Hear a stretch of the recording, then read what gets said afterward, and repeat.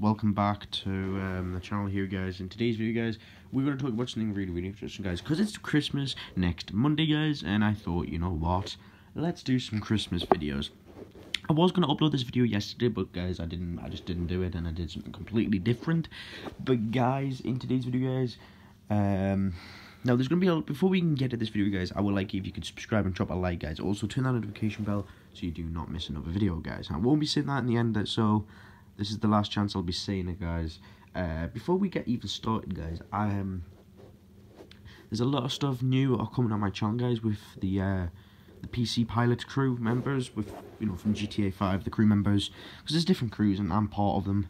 And uh, yeah, guys, you can see my banner and stuff. I've just changed everything, and it looks better, I think. I'm still doing YouTube acting, but that's not till next year. But more videos are coming on the way, guys, so don't worry. Stay tuned. But anyway, guys, we're going to talk about why Home Alone 3 and Home Alone 4 failed. Now, the reason why I'm saying this, guys, Home Alone 3 was pretty good. Obviously, Home Alone, Home Alone 2 and 1 were uh, incredible, best movies, Christmas movies ever, in my opinion. The top there with the Grinch, I think, and stuff like that, and Gremlins and stuff.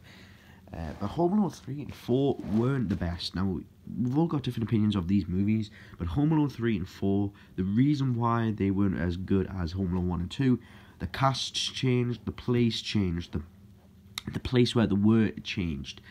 There was less comedy into them, guys. The third one had a little bit of comedy as well, but the fourth one was really, really bad for comedy.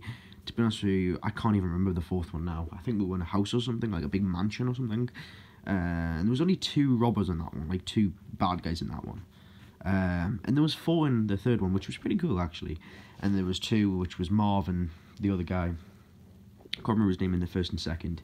And yeah, the third and fourth just went way too far. I think. I think they just got too far with it, which I'm not happy about. But there again, they did it. Um, if they did make a fifth one, I like the old cast back. The only problem is they're older, so they probably won't do that.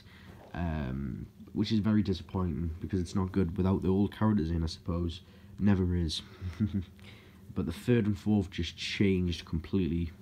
The, the, the environment where they were, the characters, the, the humour, and it just wasn't as good as the second and first, obviously, which most you will probably agree. Uh, that doesn't mean they're bad movies, guys. The third one's better than the fourth one, and the fourth one's just absolutely, like, ridiculous. Third one was pretty good just not as good as the first and second, and the fourth was the fourth one was trash. Okay, but uh, yeah, that's all I wanted to say for this video, guys. What do you think, guys? Which one do you prefer, guys? I will do a poll, guys, on my Twitter page, on a YouTube page, guys, so you can vote which one's your favorite. And uh, yeah, guys, hopefully enjoy this video, guys. Have a nice day, or uh, it depends where you are. If it's nighttime where you are, then good night to you guys. If it's morning, then good morning to you guys, or whatever, whatever. Good afternoon and stuff. And uh, I will see you in the next video, guys. Peace out.